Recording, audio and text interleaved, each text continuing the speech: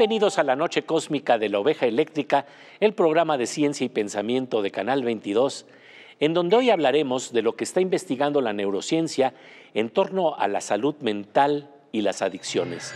Un problema que debe abordarse desde una narrativa que va más allá de los daños a la fisiología. Conversaremos con el doctor Roberto Mercadillo, neurobiólogo y catedrático del CONACIT, quien nos habla de cómo las adicciones son el síntoma de algo más profundo que tiene que ver con una dimensión social, con el estudio de lo que pasa en el cerebro cuando sentimos compasión.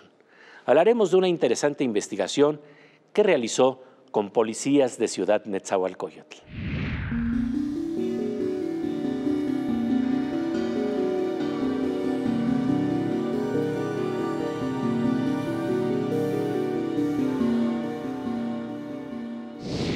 Roberto Mercadillo, un gusto que nos acompañes aquí en La Oveja Eléctrica. ¿Qué tal, Pepe? Muchas gracias. Oye, pues para hablar de justamente de qué se trata el problema de desarrollar la salud mental y cómo con ello podemos enfrentar las adicciones. ¿Qué nos dice la neurociencia? Pues nos dice que las adicciones son un problema de salud mental. Cuando pensamos, ¿qué es la salud mental? Es básicamente un estado de bienestar interior que se manifiesta hacia afuera. Y las adicciones son justamente un, desequilibrio, una señal de que algo no está bien en nuestro mundo interior. Las adicciones, ¿qué son? Es un apego. Un apego a algo que nos provoca o que creemos nos provoca bienestar y placer. ¿Cómo es que en un mundo lleno de satisfactores, familia, amigos, comida, eh, relaciones afectivas, ¿por qué tendríamos que buscar en una sustancia o en alguna otra cosa un satisfactor extra? Y, y, no solamente buscarlo, sino usarlo. Y no solamente usarlo, sino usarlo continuamente, continuamente, hasta volverlo la única fuente de satisfacción. ¿Qué nos indica eso? Que algo no está bien. Que los satisfactores que típicamente nos han acompañado a lo largo de nuestra evolución, por alguna razón no están presentes o ya no nos están siendo significativos. Y si no nos están siendo significativos eso porque los tenemos que cambiar o porque hemos creado una sociedad en la que esos satisfactores ya no son significativos y tenemos que buscar otros. Y en ese sentido las adicciones nos indican un problema de salud mental. Un problema de salud mental que eh, tú tienes que investigar planteando primeramente de qué se trata la posibilidad de experimentar armonía y paz. Y esto tú lo has estudiado en primates, pero también lo has estudiado en, ciertas sociedades en donde, eh, por ejemplo, ves como los policías en, en Etzahualcoyotl, cómo se da o no se dan patrones de violencia o de compasión en los policías. Hablemos de eso, ¿Cómo, cómo definir primeramente esos estados de plenitud, porque tú sabes que no se ha investigado mucho esa zona. Abraham Maslow es de los, de los pocos eh, científicos que se han abocado a hablar de las experiencias cumbres, las experiencias de plenitud. Con los policías de Ciudad de Zahualcoyotl descubrimos algo fascinante. El estudio era originalmente para indagar la compasión. Habíamos ya indagado ¿Qué pasa en el cerebro cuando las personas en México sentimos compasión? Es decir, este sentimiento de aflicción o pesar que tenemos cuando vemos a alguien sufriendo y que además nos motiva a intentar aliviar ese sufrimiento. Cuando hicimos ese estudio hubo una crítica interesante por parte de, algunos colegas, eh, haciéndonos ver un poco reduccionistas, ¿no? como si pensáramos que la compasión solamente está en el cerebro. Y, nos decían hay otros tantos elementos sociales que también influyen en esta experiencia compasiva, particularmente sociedades muy violentas. ¿Tú esperarías realmente que esta función cerebral de la compasión que observaste en estudiantes y en gente típica de, México no está permeada de, la situación de violencia que vivimos ahora o de la labor que hacen? Y decidimos usarla o estudiarlo en Ciudad Neza con los policías. En ese entonces en Ciudad Neza era el segundo municipio más violento del país y la representación social de los policías estaba tremendamente baja, muy castigada. muy mal vista, y comenzaban un programa de policía de proximidad. Fue el primer municipio donde se implementó la policía de proximidad. Estaban familiarizándose con ello los policías y decidimos replicar ese estudio de la compasión. Consistía básicamente en ver imágenes de gente sufriendo en diferentes contextos mientras registrábamos su función cerebral en un equipo de resonancia magnética. Y con el movimiento de sus dedos nos indicaban la intensidad de la compasión que sentían y después hacíamos una entrevista al final del resonador. Y en los policías encontramos que se activa un área del cerebro que no se mostraba en los civiles, el núcleo accumbens. Y es un chicharito pequeñito, pero crucial para las experiencias placenteras humanas y de todos los mamíferos. Es el gran liberador de dopamina. Es el núcleo que empieza a activarse cuando comemos algo que nos gusta, cuando tenemos relaciones sexuales, cuando recibimos un abrazo de alguien. ¿Qué nos indicaba esto? Que los policías de Nesa sentían placer fisiológico cuando decidían ayudar al otro sufriente. Ayudar al otro que sufre genera dopamina vinculada a la afectividad. Produce cambios en nuestro cerebro, en nuestra fisiología. ¿Cómo pueden ayudar estos hallazgos para combatir adicciones? De este importante tema seguiremos conversando después del corte con el doctor Roberto Mercadillo. Mientras tanto, pasamos a una sección con nuestra querida compañera Aura López, que nos habla de investigaciones de vanguardia y proyectos vinculados al conocimiento que se impulsan hoy en día en nuestro país.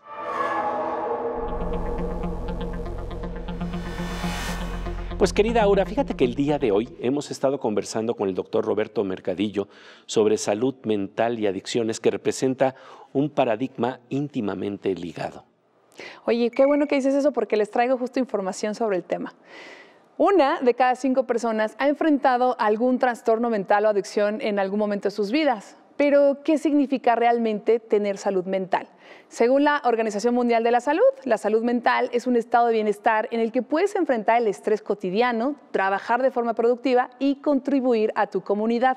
Es el fundamento del bienestar individual y por ende de la comunidad. La ansiedad y la depresión son más comunes entre las mujeres, mientras que los problemas de conducta y las adicciones afectan con mayor frecuencia a los hombres. De ahí que el CONACYT, a través de su Programa Nacional Estratégico de Salud, por sus siglas PRONACES, en colaboración con el Proyecto Nacional de Investigación e Incidencia, conocido por sus siglas como PRONAI, respaldan 13 proyectos de investigación en 12 estados de la República Mexicana. Su misión es contribuir a la promoción de la salud mental, prevenir y atender trastornos mentales, el suicidio y abordar los problemas relacionados con el consumo de drogas y comportamientos adictivos. Es más importante que nunca, especialmente después de los impactos psicológicos generados por la pandemia de COVID-19, poner énfasis en la salud mental, que es un tema importante para México y el mundo. Así es, querida Aura, es un tema tan importante que es justamente lo que estamos tocando el día de hoy desde el punto de vista de las neurociencias. Como siempre, te agradecemos tu presencia aquí en la Oveja Eléctrica. Gracias, Pepe. Muchas gracias, querida Aura. Después de un parpadeo cósmico, volvemos a la Oveja Eléctrica, en donde estamos conversando con el doctor Roberto Mercadillo sobre las investigaciones de la neurociencia en torno a las adicciones, la capacidad de compasión y sus efectos en la salud mental.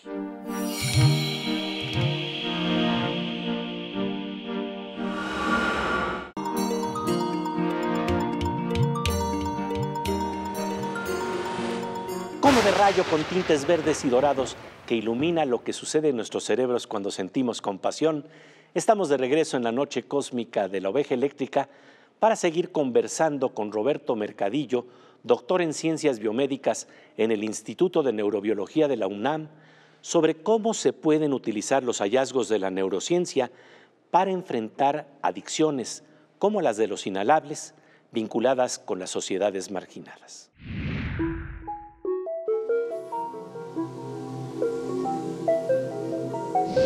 cómo esto se puede traducir a aplicar estos conocimientos en el área de las adicciones de niños, adolescentes que están sufriendo de terribles adicciones. Una de ellas muy importante que le llaman la adicción que está relacionada con la pobreza, que es los inhalantes.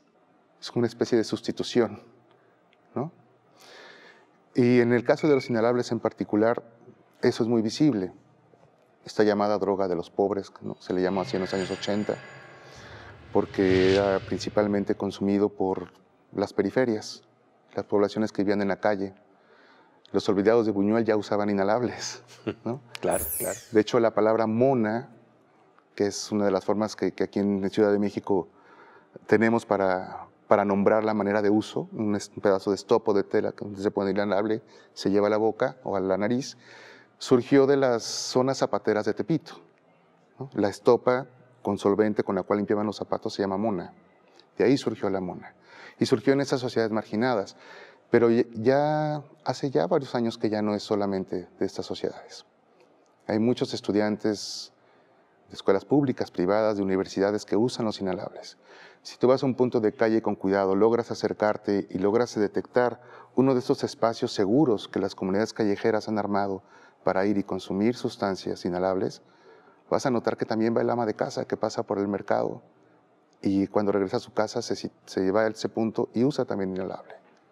Con el daño cerebral que plantea, ¿no? Con el porque daño. ustedes, hablemos un poco de eso, que, porque bueno, si fuera un sustituto que no tuviera daño en el cerebro, pues todavía podría ser eh, viable, pero, pero ¿qué nos dicen los estudios?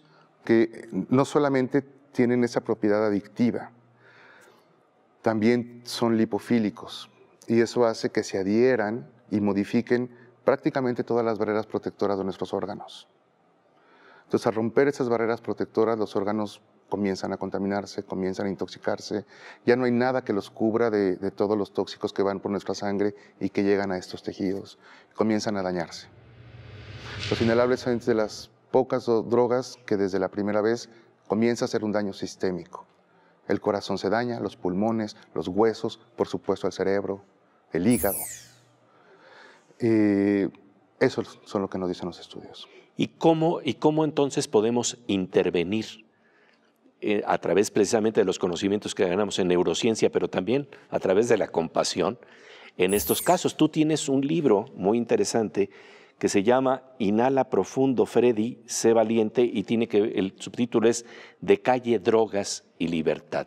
Hablemos de cómo se pueden reinsertar en la sociedad estas, estas personas que sufren profundos daños. Hay un modelo que se llama enriquecimiento ambiental que surgió con estudios de neurociencias en animales.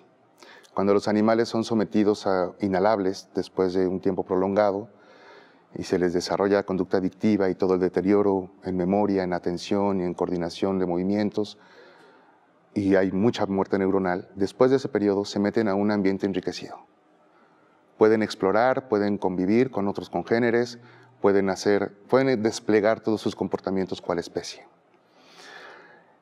Y cuando esto pasa, se recupera memoria, se recupera atención y se disminuye o incluso se desvanece la conducta adictiva y se regeneran eh, muchos de, los, de, de, las neuronas que se habían muerto. ¿Por qué? Por la estimulación. Pero aparte una estimulación voluntaria. Cuando tú forzas al animal a hacer eso, a hacer el ejercicio, a convivir, no tiene éxito. Al contrario, lo estresas y quiere consumir más. Pero cuando voluntariamente le das esas opciones, el animal se recupera. ¿Cómo podemos trasladar esto a los seres humanos, particularmente a la gente que vive en la calle? Enriquecer los espacios. Y los espacios humanos son además simbólicos. No solamente se trata de enriquecer las vías públicas o los parques, enriquecer las interacciones. Claro. Enriquecer, un enriquecimiento en calle sería eliminar el estigma. Acercarte con un poblador callejero, tomarte un café con él, platicar. Para enfrentar los problemas de adicciones, no tan solo hay que eliminar, por ejemplo, los efectos de las sustancias inhalables, sino también los estigmas sociales asociados que son profundamente tóxicos. De este importante tema seguiremos conversando con el doctor Roberto Mercadillo después del corte. Mientras tanto, nuestra querida Miriam Moscona nos introduce al mundo que revela la ciencia, que revela la tecnología, con un toque poético que afecta de manera conmovedora a nuestros cerebros.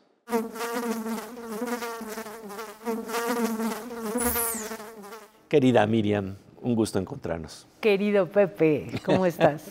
Oye, Dicen que la poesía es un estado de percepción.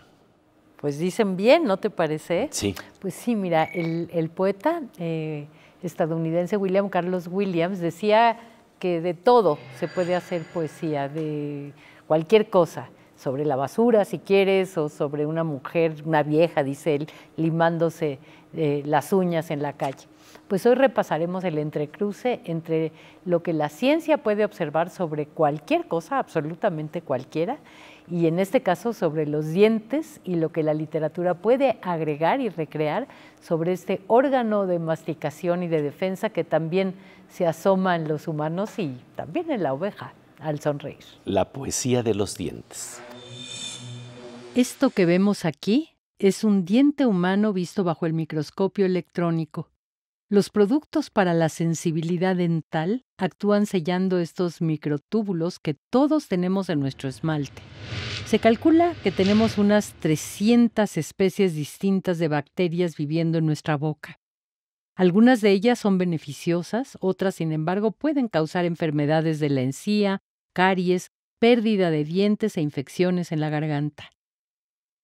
Bajo las sigilosas arcadas de tu encía como en un acueducto infinitesimal, pudiera dignamente el más digno mortal apacentar sus crespas ansias hasta que truene la trompeta de ángel en el juicio final. Ramón López Velarde. Cerramos con el mundo de bacterias que hace su danza invisible entre los dientes. Y una pregunta mía, estúpida, ligera, de un reproche tranquilo, llenó sus transparentes ojos, ya que le dije de liviana manera, ¿por qué tienes amarillos los dientes? Me abandonó. Alfonsina Storni. Podríamos seguir, pero en estos momentos la oveja vanidosa se mira al espejo y corre a lavarse los dientes con un esmero poco común en ella. Nuestra querida Miriam Moscona en La Oveja Eléctrica. Después de un parpadeo cósmico, seguiremos conversando con el doctor Roberto Mercadillo sobre sus estudios en torno a las adicciones y a la neurociencia social, ya que nuestras neuronas se comunican con las neuronas de quienes nos rodean y los estigmas de quienes nos rodean también nos dañan.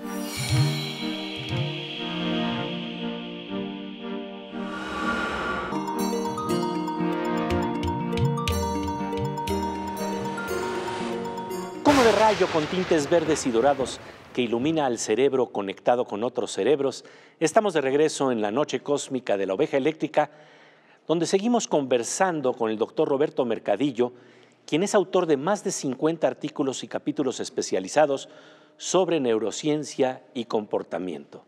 Es autor de varios libros, entre ellos uno titulado De las neuronas a la cultura, y un libro del que estamos hablando el día de hoy en la oveja eléctrica. Inhala profundo, Freddy. Sé valiente. De calle, drogas y libertad, este libro explora la importancia de ir más allá de las etiquetas de las adicciones que nos encasillan, nos encarcelan socialmente e impiden nuestra salud individual y colectiva.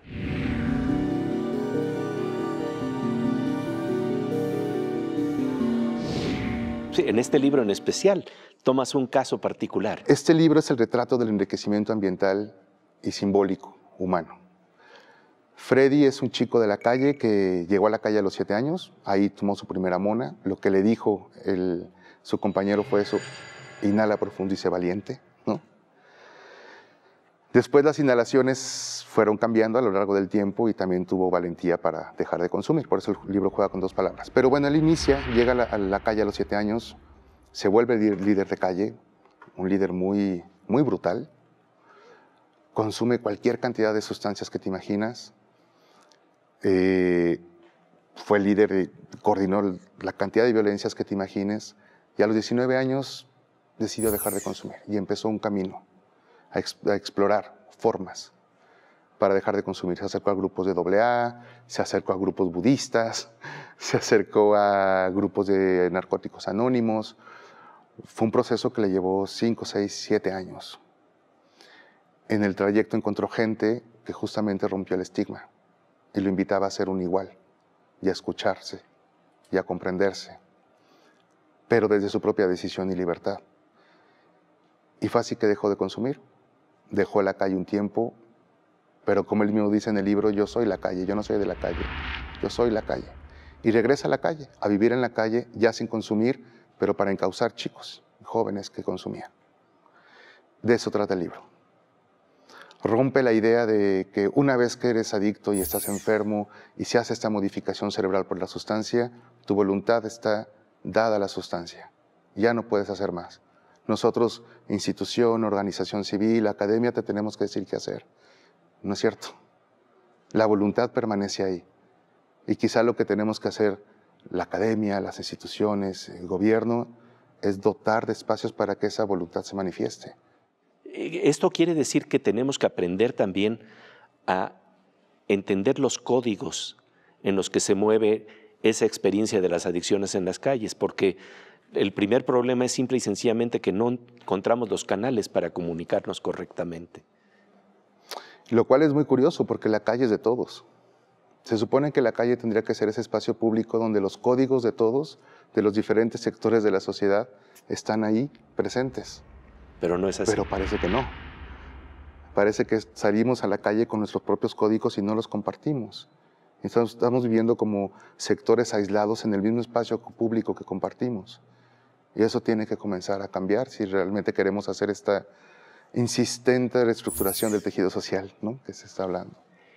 Eh, sí, sí, para terminar, si estamos hablando de, de un aprendizaje que tú has tenido al hacer estas investigaciones, ¿qué es lo que para ti se te volvió fundamental al entender ya desde este campo de experiencia y de investigación y de estudio lo que implica la salud mental, lo que implica las adicciones y lo que implica la comunicación y la empatía.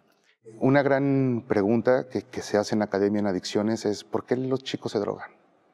¿Por qué comienzan a desarrollar adicción? Pero cuando vemos un poco más las estadísticas, notamos que la mayoría de la gente que usa drogas alguna vez en su vida no, no desarrolla una adicción.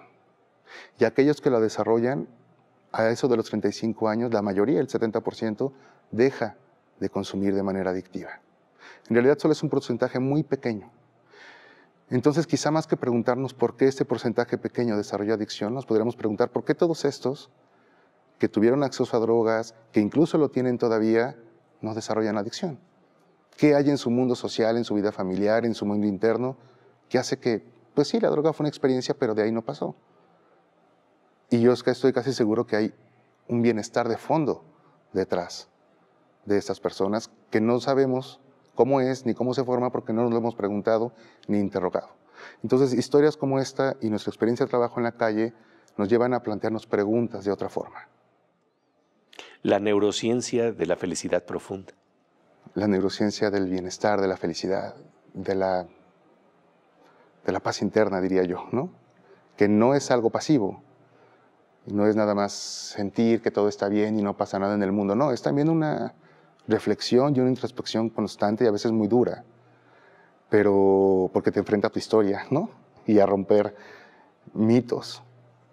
Pero creo que es a donde tenemos que apuntar en estas nuevas generaciones de académicos.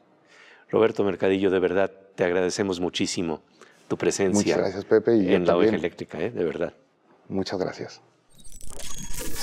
¿Cómo descubrir un bienestar de fondo? ¿Cómo investigar la neurociencia de la paz interna vinculada con una compasión que no es superficial, una compasión por quienes nos rodean? Ese es el reto que nos presenta el doctor Roberto Mercadillo, quien nos recuerda algo que ya decía el gran científico Oliver Sacks, que en los tratamientos médicos es indispensable investigar el drama humano completo. No se trata tan solo de una historia clínica, sino de la construcción de una narrativa compleja con múltiples dimensiones y capítulos.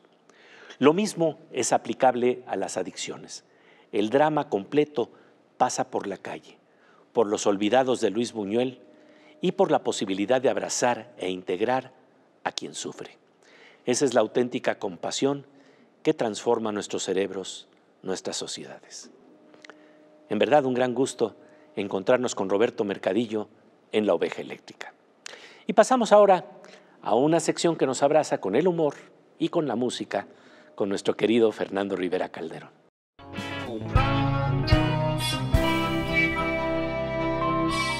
Pues querido Fernando Rivera Calderón, a mucha gente le gusta hablar de las neuronas del ejercicio. A mí también, pero nada más hablar, porque si me van a poner a correr y a hacer ejercicio, la verdad es que ya, ya no juego.